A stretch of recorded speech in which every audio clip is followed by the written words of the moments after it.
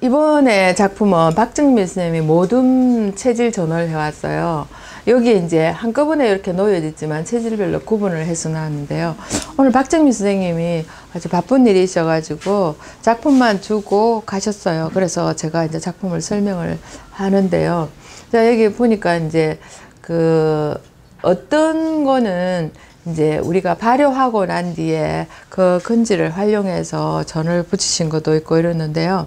자, 이제 제가 한 가지씩 예, 살짝 맛을 보면서 음. 여기는 이제 인삼이 들어서 인삼 발효하고 난 뒤에 어, 그 발효의 그된 맛, 어, 맛은 약간 인삼 향이 좀 죽는 것 같지만 싶으면은 인삼이 그대로 느껴지는 음, 그런 게 되겠고요. 자 여기는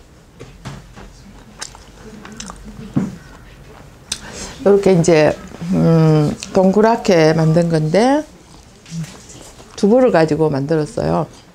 두부를 가지고 그러니까 음, 소고기가 들어가서 음, 또 소고기 맛이 싹 들어가는 아주 고소한 완전 단백질 덩어리인 것 같습니다. 이렇게 있고요. 여기는 이제 꼬치예요.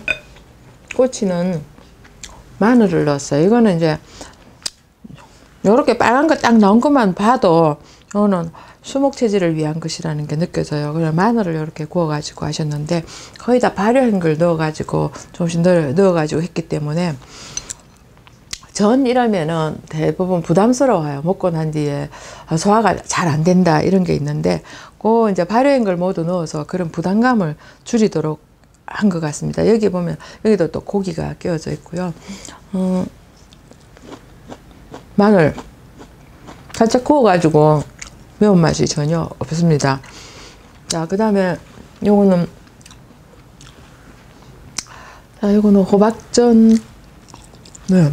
네, 호박을 가지고 만들었네요. 거기다 조금씩 발효했기 때문에 발효한다고 해서 막 발효의 특유의 냄새 이런 거 나지 않습니다. 어, 우리가 발효이라면 긴 시간을 기다려 갖고 하는 거라고 얘기를 하는데 물론 긴 시간 기다리는 것도 있지만은 음, 오늘 이렇게 뭐 발효를 할 수 있도록 미생물을 넣어놨다가 조금만 기다리면 몇 시간만 지나도 그게 발효고요. 그 다음 내일이 되어도 발효입니다. 근데 여기 보면은 그런 음, 기다림의 맛이 기다림의 맛이 여기에 또 숨어 있고요. 그리고 이제 짧지만 짧게 발효한 것도 들어가 있습니다. 골고루 인삼 발효한 거랑 또 이제 그 두부 같은 경우도 약간 발효해가지고 넣을 수도 있고 이렇습니다. 그래서 모듬전 이렇게 했는데 사실 처음에 딱 왔을 땐 되게 이뻤어요. 근데 이제 이렇게 이제 어, 둔거 이렇게 여러분도 한번 감상해 보시고 음, 한번 또 맛보러 오시면 어떨까 생각을 합니다. 박정미 쌤의 예, 박정미 선생님의 모듬전이었습니다.